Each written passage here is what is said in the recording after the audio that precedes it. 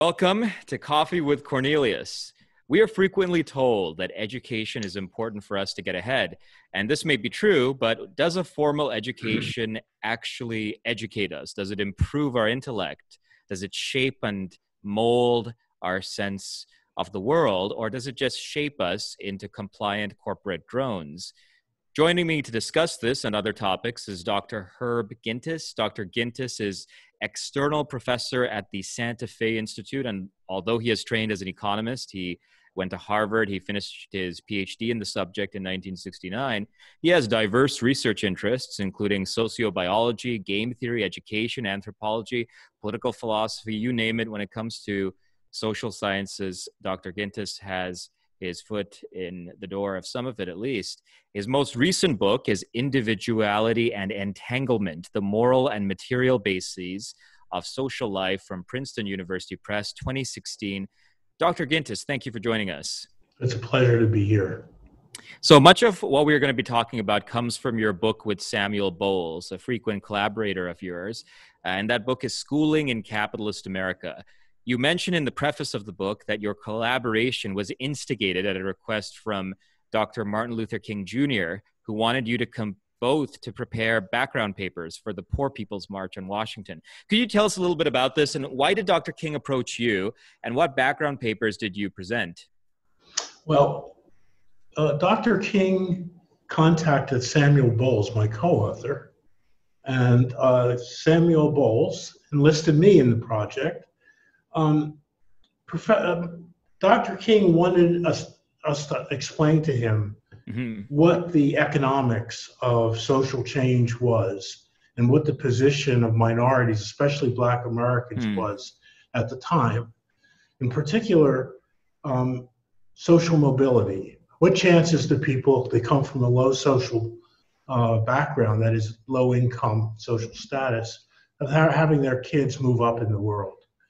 Um, and he wanted to know what good, I would say demands, because he was part of a movement, demands to, that could be made on the uh, American society that would improve the position of minority uh, people, especially blacks. At that time, it was almost exclusively blacks. So uh, he, I do not know whether he contacted any so-called mainstream economists, but Samuel Bowles and I were not. We were called radical economists we were teaching at Harvard, and uh, we had, because of the war in Vietnam, we were bitterly, bitterly opposed to uh, most uh, standard thought processes, including my own PhD dissertation director and lots of the other professors that we had. They all worked for the CIA. They went to Vietnam and uh, and, and consulted with uh, you know the the administration and the enemy. I called the enemy. So we were very, very upset. Now, of course, with the coronavirus, we now know you can really be upset. Sure. We were upset just because there were 300 Americans a day coming home in body bags. Wow. And so it radicalized us. We were young people. We were seeing the United States bashing these uh, peasants in Vietnam. Mm-hmm. So we were very much um, on the outs with traditional uh, e- economics. Now, it's not to say that all my professors were that way. They were not. John Kenneth Galbraith, I mean, I could name five or six who were definitely on our side. And when it came time to promote us, for instance, I was when I was promoted to associate professor, it's because these people who agreed with us, um, uh, it forced the department to be uh, level-headed in uh, and kind of meritocratic in their appointments. So at any rate, Dr. Dr. King knew this, and he wanted input from the alternatives. For instance, we, we taught a course at Harvard called SocSci 128. It had hundreds of students, and we did it for year after year. So we were pretty much up on alternatives to traditional economic theory, which, by the way, tended to say there's a huge amount of mobility in America. Um, and he asked us to um, uh, to pro- pro- provide an alternative if there was one, and mm-hmm. we did. We, we started studying income distribution, and we and studying mobility. By mobility, I mean if you're in the top ten percent of parent parental income what's the chance that you're going to be in the top percent? 10. Mm-hmm. percent If you're in the bottom 10%, what's the chance you're going to get to the top percent? So we studied all of that stuff, and our conclusion, um, our conclusion was that um, America had very little, very little mobility. Now it had some mobility for sure. Lots of people from all parts of the income distribution have kids that go to other all parts, but mostly, if your if your parents are in the top ten percent, your chances of being in the top ten percent are 20 times that of someone who comes from the bottom 20%. So that's why he was interested. He wanted to know uh, uh, numbers like that. So that's it. I see. So and we, I mean, and we provided a single yeah. um, uh, uh, report right. laying a bunch of stuff out. Now I haven't seen that report for 50 years, but it was there it's somewhere in the archives. I've got to ask it may a question. Be, or may not. It may not even oh. exist. Oh. I, I don't know. Yes. Oh, hopefully it does. I mean, one question I, I would like to ask though, what you make it sound like is that at the time, economists there was hardly any work being done on these questions of, of social status and social mobility. Is that a fair characterization of the economics I, profession I wouldn't at the time? say that. I would yeah. say there was work done on it, yeah. but it was done with a bias towards America being the melting pot that everyone's pretty much equal. Now, here's the real uh, problem. Whenever you do statistical analysis like this, there are errors in the numbers. Mm-hmm. And if you don't correct for the errors in reporting, for instance, if someone says, um, you say, What was your parents' income? How do you know what your parents' income? Well, I don't know what my parents' income is. yeah, sure. What am I going to say? Yeah. You know, there's so much error in that. Yeah. That um, if you just use the gross statistics that people give you, you get a very low correlation between mm-hmm. parental success and children's success. Yeah. So what we did was we found the so-called validity of the reported. I mean, it's a statistical technique which allows you to factor out. Like if 50% of the answer is wrong or random, you factor out 50%. percent mm hmm So we got a figure that was very high, like uh, that is, social mobility was very low. And we got roundly criticized for that. But I'll tell you this later researchers not only corroborated our work, and mainstream researchers, but they showed it was even worse than we thought. And they did that in a variety of ways. James Heckman mm-hmm. at, at the University of Chicago got a Nobel Prize for the work he did that's right. on intergenerational mobility, and it totally supported everything we said. Mm-hmm. So, um, you know, it's very sad. There should be more mobility, but but people in the upper classes they don't want mobility. I, for instance, I, I don't want my kid to have an equal chance with every other kid in the world. I want to give them a good chance. Right. So there's yeah. an incredible pressure for lowering the degree of, of uh, mobility in society. So let's talk about the main thesis behind schooling in capitalist America. Could you just let my listeners know what the main thesis is? Yeah, we have really um, several several themes. Mm-hmm. One theme was there's low mobility in America. It's not sure. a Horatio Alger thing where anybody can be anything. It's relatively low mobility uh, we had what we call the correspondence principle, which is this. Oh no, let me say, first of all, let me say, very important. I did my PhD thesis on this to show that what you get when you go to school is not only higher skills, but also a new personality. Mm-hmm. And a personality, and schools tend to produce people who fit into the economic system. Right. Why not? What do you expect? That means that working class schools teach people to take orders, mm-hmm. and um, elite schools give kids a lot of leeway and choices of courses and and study times, and poor kids get the shaft all the time. Um, so that was called the correspondence principle. We had all sorts of statistics to show that it was true. Mm-hmm. And the third thing was that schools don't just give you skills, they give you what we call affective traits, personality traits that is, and, and your success, that is the, your grades in school and your probability of moving on to a higher level depends on you internalizing. It's a sociological term, internalizing the norms appropriate to that level. hmm And we had lots of statistics. As I said, my dissertation uh, tr- tried to prove that using personality tests and other uh, uh, other means from psychology. By the way, I should say that all my life I've been I've worked in all fields in behavioral science. I'm not just an economist. I know psychology, political theory, sociology, and I've even published extensively in anthropology. And I think you need all of these to really understand society. If Sure. you really want to understand, you can't stick to one discipline. Sure, and uh, unfortunately. I, I would agree with you uh, there. I mean, I guess it's where the question leads you, right? Where the question leads you could could be in a in a direction that's not purely economic. Um, but these affective traits that you're talking about in students that schools instill in students, uh, are they necessarily affective traits that we should be concerned with, or are they purely benign? Well, uh, th- these are value judgments. hmm Um, working class parents want their kids to be disciplined. hmm That's the first thing they want. I mean, there's Yeah. again, I'm speaking because I have evidence. I don't believe anything without evidence. I say Sure. to you, nothing without evidence. The evidence is that working class parents really want their kids to learn to be disciplined, hmm and they are happy when the schools do exactly that.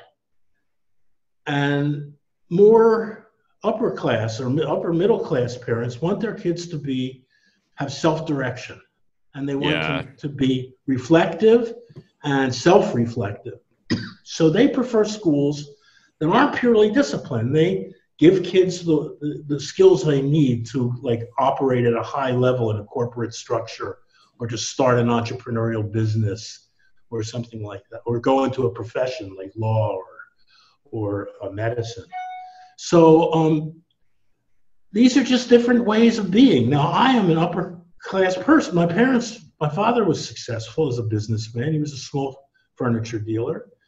And I swear, he, ra- he and my mom raised me and my brother to be just like what I'm saying for the elite. That is, Sure. they didn't discipline us.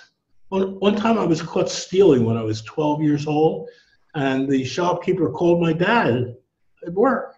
And when I went to when I went home, I was so scared. My dad was crying.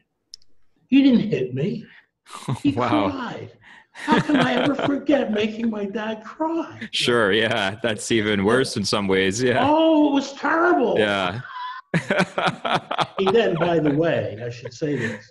He said, for the next four years, you're going to be driving a truck uh, for me in summers when you're in school. And I did that. Oh, I, was- okay. I delivered furniture for four years. wow. So there was some discipline there. Oh, yeah. Oh, yeah. But it was constructive discipline. It wasn't Yeah. I'm going to beat the crap out of you. Sure. So it's a value judgment. But Mhm. we, you know, I think being raised to be self reliant and tolerant of others and all that kind of stuff is really wonderful. Yeah. And um, I'm so glad that my parents gave that to me. So I would say, yes, it's better to be in the middle class rather than the working class Mhm. environment. But if you're going to go get a job on an assembly line, or if you're going to have a boss who's, a, excuse the expression, an a-hole of some kind, you Mhm. better be, ta- be able to take orders and not hit him in the mouth. True. Hit him in the mouth, you lose your Yeah. job. So these are the things we did in our book. Um, and, And- we did these with statistics and a, and a lot of evidence. As I say, I don't believe anything unless there's evidence. And these affective traits can definitely dampen social mobility. Now, pu- schooling was published in 1976, and a lot has changed since then.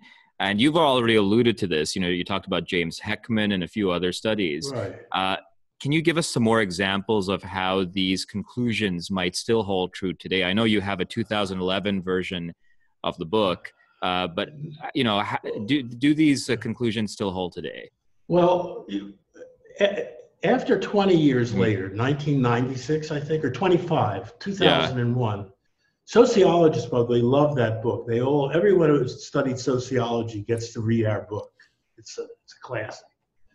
So a bunch of sociological co- conferences asked us to speak. What's happening now? You know, Bowles and Gintis after 25 years, or uh, capitalist and um, Schooling in Capitalist America a quarter century later. And we went back and read what we said. And we compared it to what we knew now. Mhm. And we had a general conclusion. The empirical type statements we made, everything I've said to you so far, has been validated. Now, as I say, James Heckman, but also um, uh, Christopher Jencks at Harvard showed that the affective traits are the ones that really matter too. Hmm. So you know, and the in- income distribution. We had we did a book called Unequal Chances, Princeton University, about 2012 or something. I don't remember the year. And we had a big conference at the Santa Fe Institute in, in, in Santa Fe, New Mexico, which is where I'm a member. And we had the experts in the world who do mobility studies. You know, that's all they do is mobility studies. Perfectly. I mean, I'm sad to say, I wish there were more mobility, but there Mhm. isn't. Um, it's just a mess. So we were not unhappy with anything we said empirically. Um, but we thought there was a better system, socialism. There not a better system, so there's no panacea to this There's no problem. panacea, but there is a way to improve. Some some places have better schools than others. You can improve the schools a lot. But we were into socialism, and if you want to talk about that at some point, we can talk about it. But the point is, we we we thought we now think that's just no, there is no alternative. Now, people today, I notice, I'm very attuned to this. People today say, "Well, I'm a democratic socialist." Mhm. I said, "Well, what do you mean by that?" And then they say something perfectly liberal. Like, Yeah. I think the ruling where the, the upper class shouldn't have so much money. I said, "Oh, really? That's a system change?" No, Yeah. Marx said, "You bash the capitalists, you take the money, you give it to the state, and they run the economy." Oh no, you you have to give them less power. You know, we have to have more welfare states. yeah. Really, that's socialism? Come on. It's a farce. There are no socialists Mm-hmm. So at any rate, we were wrong about that. And when I think, and it was a long process of figuring out that we were wrong. Why? Because first of all, we adhere to what was called market socialism. Okay. Market socialism is the, the government owns the capital stock, the hmm wealth. But all firms operate on markets. They buy and sell and they make profits and all that stuff. Sure. Now, I'm not going to go into why, but that doesn't work. Okay. It's a long, long story. And then we moved to what we call democratic hmm uh, socialism, which was the worker ownership. For workers own the firms. And we spent 10 years on that, or maybe eight years, until we figured out that that doesn't work. And the reason it doesn't work basically is that capital is the, the reason corporations and businesses work is they have limited liability and they can Mhm. borrow. Sure. And um, they borrow because they have collateral, capital, background. Workers are poor. The only the only wealth that most workers have is their house and their car, hmm and they're lucky. They're not. They don't get their house until they're like 55 years old, Yeah. mortgaged. So they can't they can't raise capital. They can't compare. And then we said, but what if we just give the workers the firms? hmm Just give it to them. Answer: They'll sell it. sure. Yeah. They can make a lot more they money. more money by selling it than they have by running it. and so so you have the same rate- problem. Yeah. So there's your answer to, to what the problem. The only problem with schooling in capitalist America was we said we can solve all this if we have socialism, but we were wrong. You mentioned that there are reforms that can be put in place that would make the system function better. Would something like school choice or something like a voucher system be a good idea? Well, we know I- have supported school choice for many years. hmm I think it's really important. But you know who it's important for? It's important for the poor. Right. Um, if you're in a middle class school in, you know, Lexington, Kentucky or something, you get a fine education. But if you're in the center, uh, center city of Detroit, you get a, an inferior education. And that's because the public school, the way the public schools work, um, they shovel all the bad teachers and the miscreant teachers into the poor schools. And the poor schools are, should have the best teachers. They need the best teachers Mhm. because they have lots of problems. I mean, Yeah. the poor aren't poor for no reason at all. hmm There's lots of behavioral problems. that you Sure. don't- I taught, I taught at Harvard and the University of Massachusetts and NYU and Columbia. I never had a student talk back to me. Mhm. Never. I never had a parent call me and yell at me or do anything else other than invite me to dinner. But if you go into a poor school, and by the way, I, my, my, my son's girlfriend was a teacher in um, Queens. Mhm. She said the real problem was there's a lot of kids, I, I had to deal with the di- discipline problems, and I couldn't teach the kids who were wanting to learn. Yeah. So there are discipline problems, and it's very real. But you need really good teachers, and when you Mhm. get them, there's all sorts of evidence that you can have kids with uh, schools with poor kids that do really well if they have very talented principals and committed teachers. Yeah. But the point is, most teachers get burned out after a couple of years. Yeah. It's hard work and it's Yeah. unrewarding work, and you get yelled at all the time for you Mhm. know doing everything under the sun. So it's very very hard, but it can be done. Yes, and I definitely support. And by the way, um, charter schools and, and and choice in education it doesn't just help the, the people who get the choice. It helps the public schools too Mhm. because they have they have to account for the fact that there's a school up there that's doing better than you. What are you going to do about it? If there's no comparison, what can you say? Well, there's the kids are poor, they're dumb, whatever. right. Yeah. but if you can say, well, the same kids are up there on the street Yeah. there, and they're they're getting into college. hmm See, so so So there's a competition that is generated. competition yeah. is good for competition is good, and, and, and that's what economists will tell you, and it's Mhm. true. Okay, all of our social life is an interaction between cooperation and competition. Yeah. And if you just have one, it's bad. You have to have both. Hmm Uh, that's a general message from all the game theory that uh, I've been you know, Well- working on for years. That's a fantastic leeway because I'd like to talk about game theory. You have a wonderful book, and I highly recommend it to our viewers. It's called Game Theory Evolving. It served me well in grad school, and it's great because it's got practice problems, it's got solutions in the back, it's got some programming exercises for those who are interested in computer programming. Um, but for those of my viewers who do not know what we're talking about, what is game theory?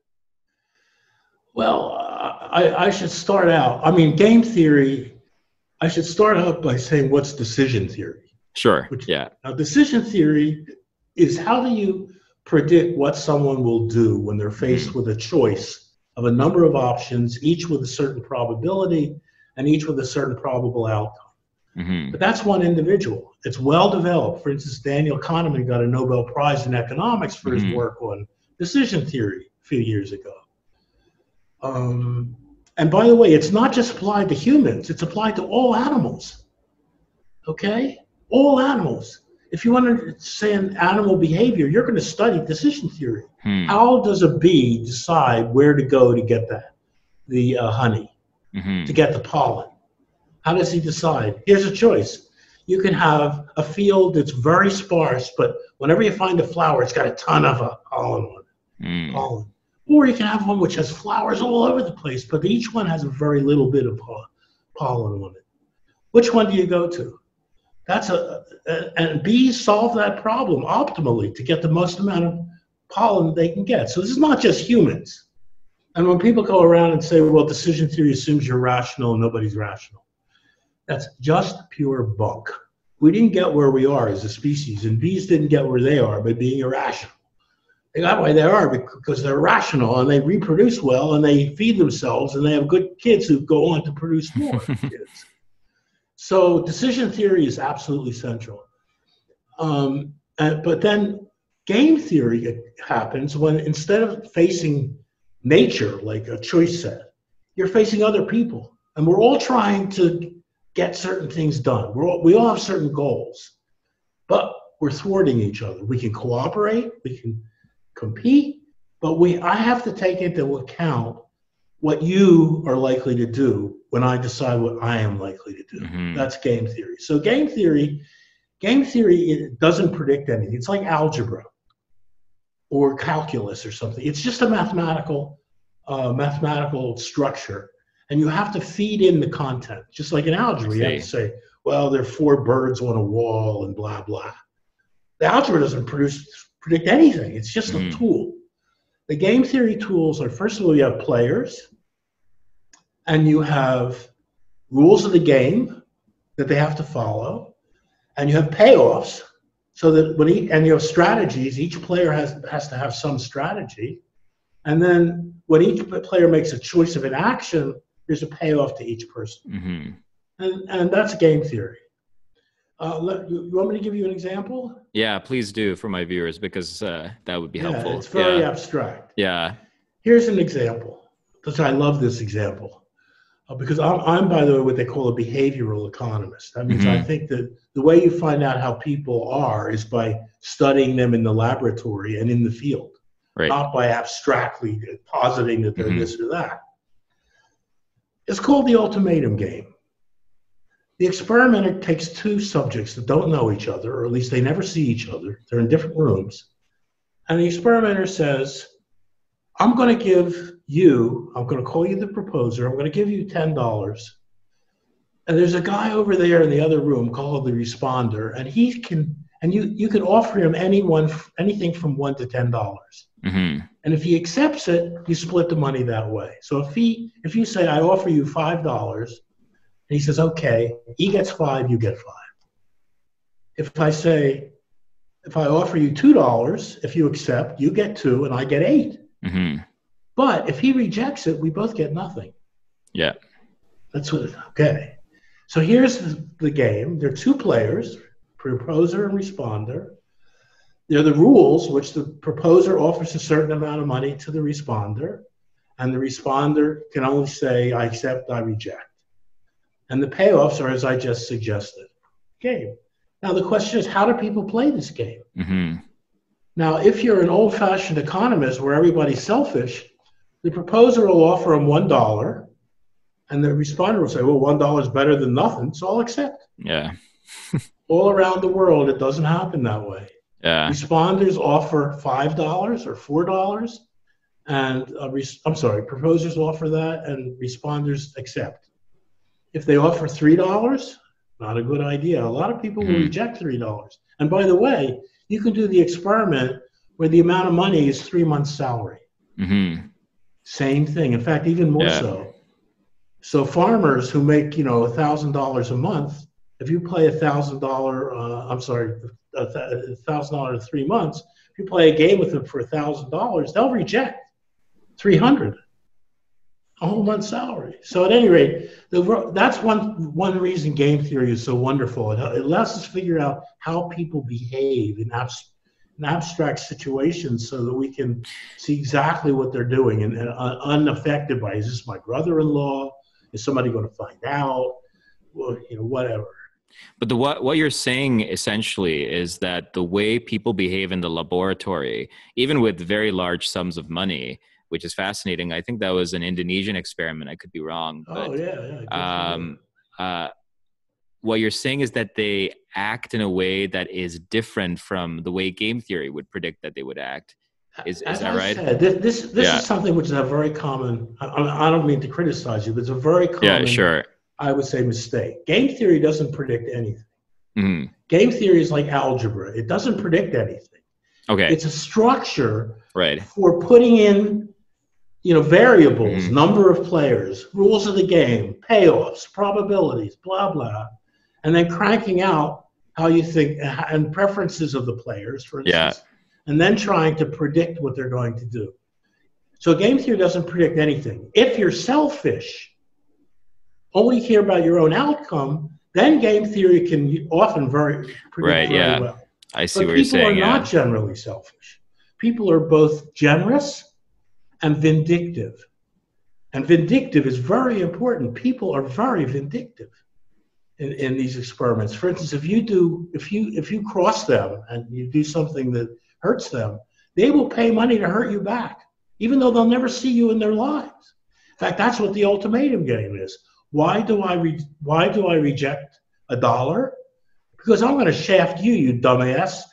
You're getting Right. nine dollars. I'm getting one. I'm going to take Yeah. your nine dollars, and it's only going to cost me a dollar. Yeah, And when I go home, I'm going to think how sweet it was. yeah, yeah. Sure. And I, I, so I guess what you're saying is that you know, in game theory, what we can do is we can structure people's preferences, uh, such that you know they do care about things like inequality or inequality Well, uh, aversion or right. yeah But I don't, I don't want to say we can structure them. We find out how they in fact behave. sure yeah You know, Yeah. it- it- it- this is experimental, just like it was Right. physics or chemistry. You know, it's Mhm. called behavioral because we study the behavior, and we find out things that you know no one has ever. If you read a sociology book, yeah you're not, not going to find anything about being, being, being, retributive or vindictive or anything Mhm. like that.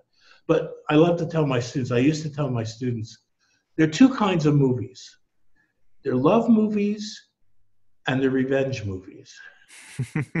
okay Now, we all know why Yeah. I really love movies great. When you get a good Schwarzenegger, you know, he, they kill his wife and dog, and the whole movie is him killing everybody in sight, and you come out Oh, and say, that was a wonderful movie. It's pretty great like the john Very wick movies inspiring. Kids love Yeah. that. They love revenge. yeah So we found out things by using game theory to find out how people behave that we never even thought about before. I always thought revenge, that's stupid. Who would do a Yeah. thing like that? That's a bad personality. hmm But everybody's that way. I mean, there's not everybody, but I mean the majority, mo- the large majority of people are that way. So so this so cre- anyway, that's what game theory is. But I should Yeah. men- mention that this is not just about humans Mhm. and it's the games that people play for humans are often called social games. That is Right. the, the rules of the game in society.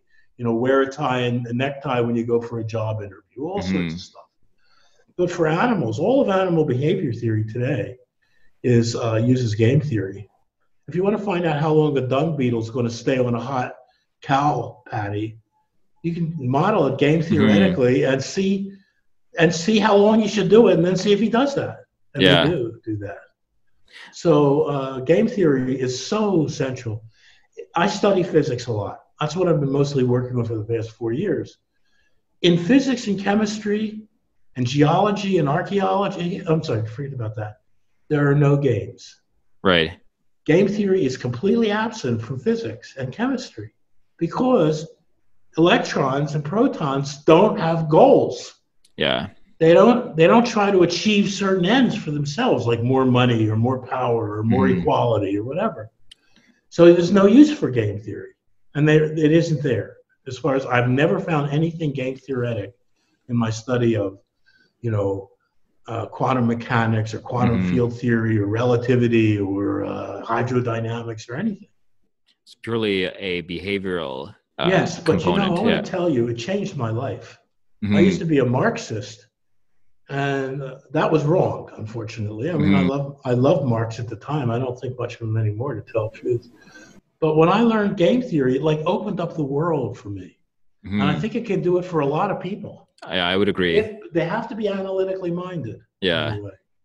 Uh, And- you have to be, not be afraid of equations. hmm Yeah, no, I, I teach a game theory course, and I find that with the students, they come out of it thinking somewhat differently than they did when they come into it. Even if they were economics students, you know, even if they're uh, they're completely focused on economics. Yeah. But but you know, if a frequent criticism of game theory, and you know, this is probably not a valid criticism because what you said is that the aim is not to necessarily predict anything, but a lot of people give this criticism that it's just an intellectual exercise that we can't really use it for yeah, I heard anything. that. Yeah. Uh, my old nemesis Nassim Taleb says Mhm. something like that. Yeah. uh, I, I, I saw you asked. Uh, I'll talk about Taleb for a minute because you mentioned him in your in your letter to me. Um, I never met the man, but I did read his book, The Black Swan, hmm um, and I hated it. Not that he was wrong about the importance of um, outliers, you know, Right. things like 9/11 or pandemics or wars. He's right about that. hmm And he's right that you can't predict. I, this is a central point. You can't predict how society is going to develop. Yeah. I've worked my whole life on this. I can tell you a lot about so society, hmm but the dynamics of social change is almost impenetrable. It, there, Philip Tetlock has worked on this too, a very famous uh, uh, statistician at MIT. We just do not. Once Winston Churchill once was asked, "What do you think of Marx's theory of history?" Marx's theory of history is kind of mechanical hmm thesis, antithesis, synthesis. And Winston Churchill said, history is just one damn thing after another. In other words, it doesn't have a logic. right. So he's right about that. But Yeah. what he says, the way he said it, this was right at, he wrote that book right after the 2008, you know, melt, the financial meltdown.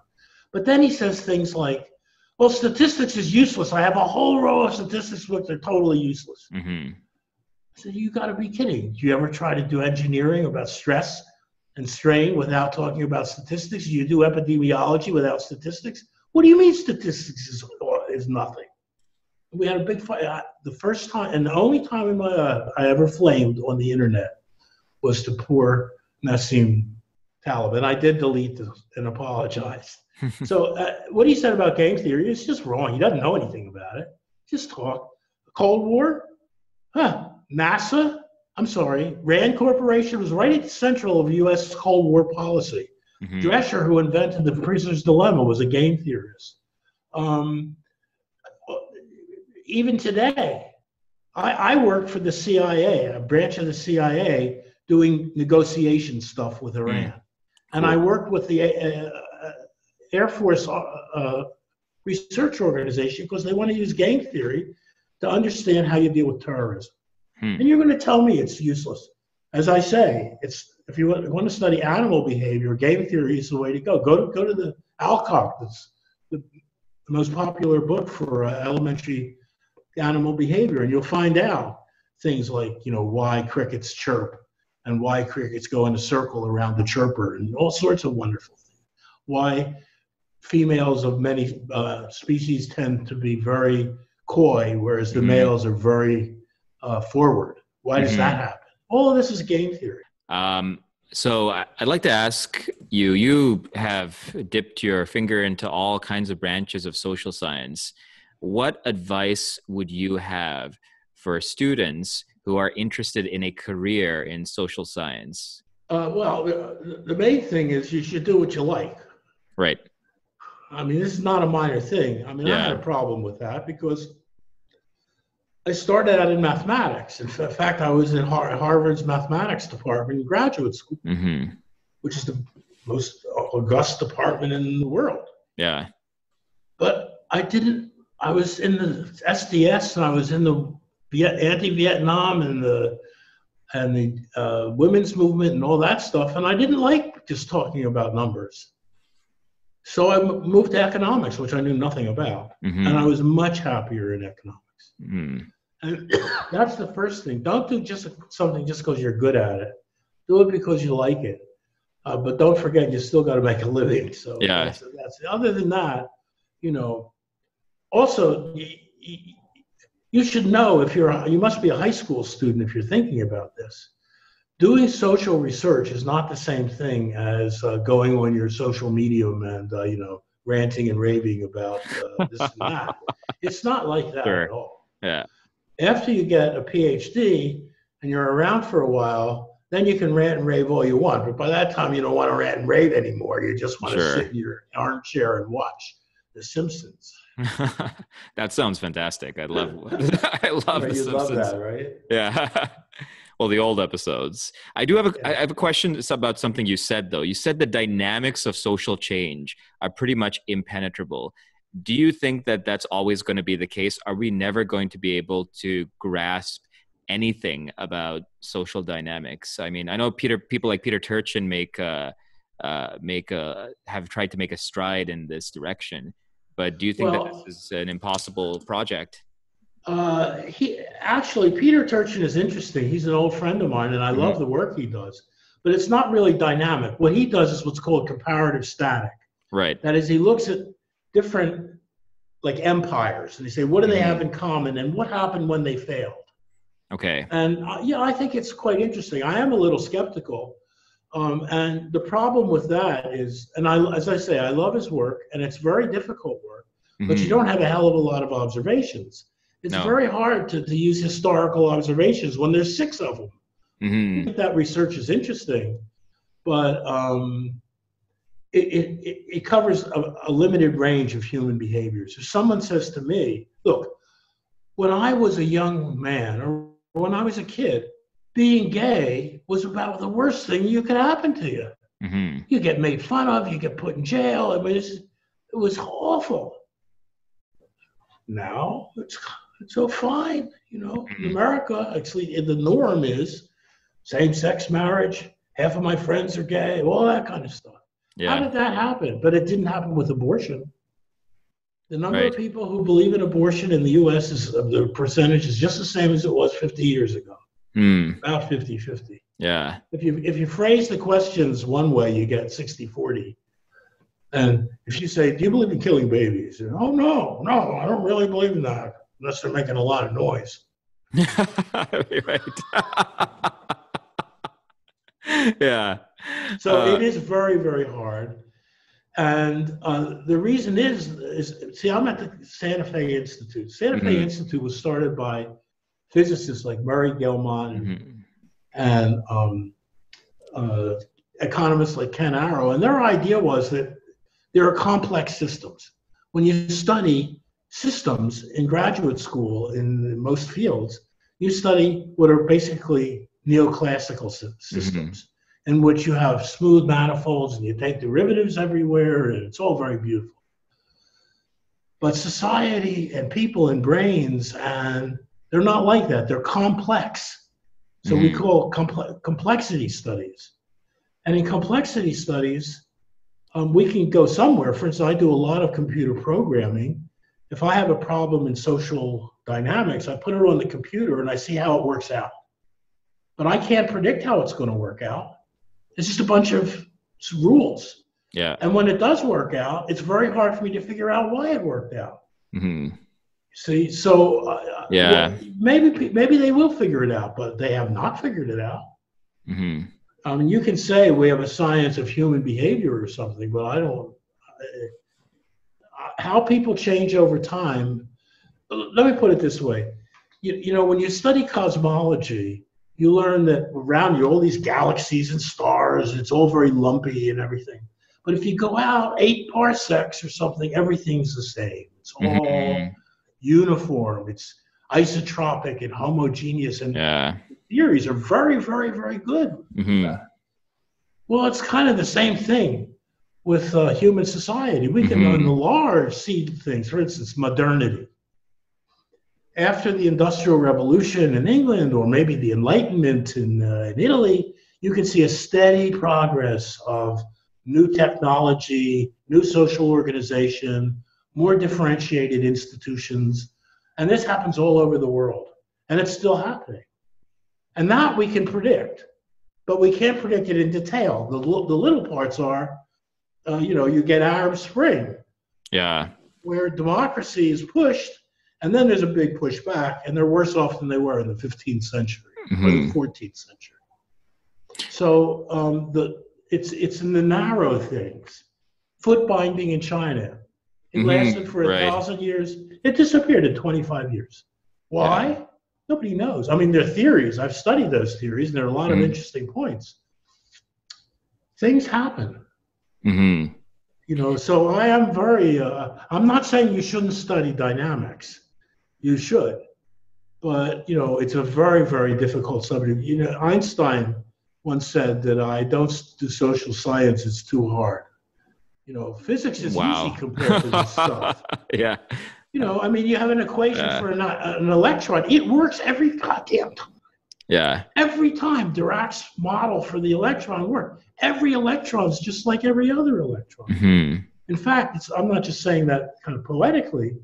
The statistics, the so-called Bose-Einstein statistics, are based on the fact if you take two electrons and switch them, it's the same. Hmm. Whereas Dirac Fermi are like billiard balls. Change two, you got change billiard balls.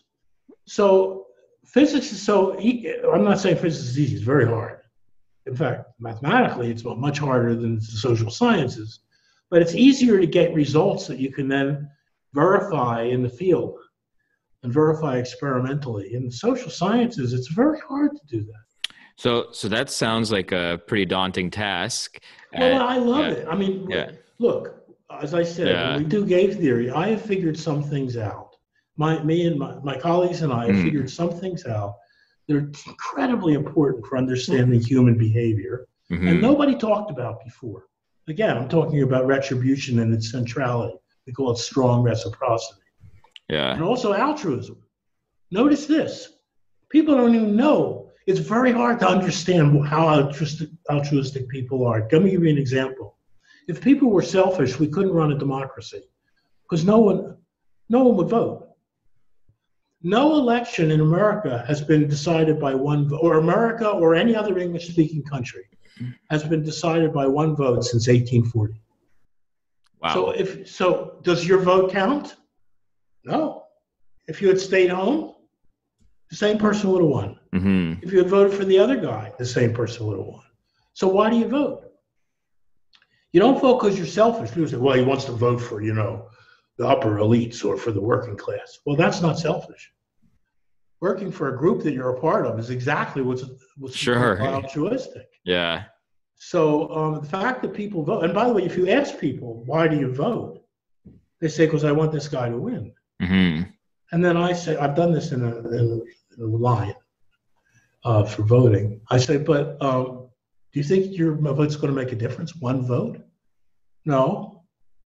Well, then why bother voting? Because one vote's not going to matter. They say, if everybody thought that, we couldn't have a democracy. hmm And I say, well, everybody doesn't think that. That doesn't explain why you vote. And then if, if you go farther than that, you better pick on a little old lady rather than a big uh, iron worker because they get very angry at you. yeah. It's very Sure, hard to explain to people that it's al- altruistic to vote. Yeah. So humans are not only altruistic and vindictive, good, bad, they are, all the underpinnings of our society are based on people being both altruistic and being vindictive. Because you can't depend on the government. In my building here in, in Dumbo in Brooklyn, everybody wears a mask. hmm The first time I forgot to wear a mask, it was very early. I would never forget that. I got in the elevator. I got screamed at by this guy who said, You son of a bitch, what are you coming on the elevator for without a mask? mask? What mask? I don't have a mask. But I didn't forget that. I never got on the elevator again without a bandana yeah. or a mask. So most social control doesn't occur through the government. Most social control occurs through people rewarding people who are nice to them and punishing people who are not nice to them. hmm So we learn this. So these I'm not saying you don't learn anything by doing social theory. You learn a lot. It's still almost impossible to predict. And if I have time, let me go back to Nassim Taleb Sure. in his book, The Black Swan, he says science is supposed to predict, but look how they couldn't predict, you know, 9 11, and look how they couldn't predict uh, the meltdown, and look how they couldn't predict this and that. The fact is, science isn't about predicting usually, it's about explaining and dealing with. Mhm. Explaining means explaining how things work. Dealing with means when something happens, what do you do? For instance, I can't predict when my car is going to go over a pothole. I can't predict that. No. The engineers of the car can't predict that. But they can say if you go over a pothole, you have shock absorbers, Mhm. which, if the pothole is not too big, will protect your car. yeah. That's what we can do with science. Not and think of biology. But you think a bio, an evolutionary biologist can predict a frog, or a caterpillar, or a, you know hawk. No, you don't predict. You can't predict how random mutations are going to turn out into new species. Hmm Doesn't mean it doesn't explain a lot of stuff. It's extremely powerful uh, uh, Darwinian evolutionary biology. It explains by looking how patterns change over time in species. So anyway, I think that, uh, that, that that's basically my point. If you can explain, it's good. It's like when you learn how to to sail a boat, you don't learn how to predict what's going to happen to the weather. Mhm. You listen to the weather station for that hmm you know in any situation what you have to do to make the boat go where you want it to go. And that's what science does for you. It allows you to deal with uncertainty in a somewhat optimal way. It's very interesting. So we're coming towards the end now, and I'd like to ask you, uh, where can we follow you and follow your work, and where can we find you? Do you have Twitter? Do you have a blog? I know you have some Amazon reviews that you frequently update. I have 350 Amazon reviews, all serious. Uh, Yeah. Well, once in a while, you know, I'll do my ear, nose plugs or something. But they're all serious reviews of serious books. And uh, Amazon, you, if you ever want to find out, take a book that's like social science or physics or something, and then uh, Google Gintis reviews such and such. Mhm. I used to have Amazon used to allow you to keep them all together, but I haven't figured out how to do that. Mhm. They, they, the, the link got broken. So anybody out there who knows how to, uh, to do it, please uh, email me. Now, Google me Gintis, and you, you'll get me. And I have a wonderful website with lots of articles and really interesting stuff. So um, that you can get by Googling Gintis website. And I'll put that all in the link to the description below. Uh, Sure. So thank you so much, uh, Dr. Gintis. This has been a fascinating talk, fascinating discussion. I really appreciate you coming on here. Great. It's nice to talk to you. Have a good one and stay safe. Okay. Bye bye. Bye.